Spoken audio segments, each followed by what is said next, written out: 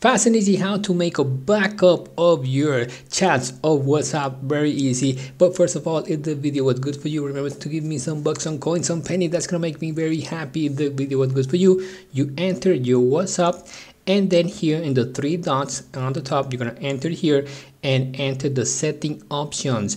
And now you're gonna find the option called chats why? Because you're gonna do a backup of your chats and then you go down down down here and here is the option called chat backup. Remember very important you have to vinculate or integrate your gmail account with whatsapp. Chat backup.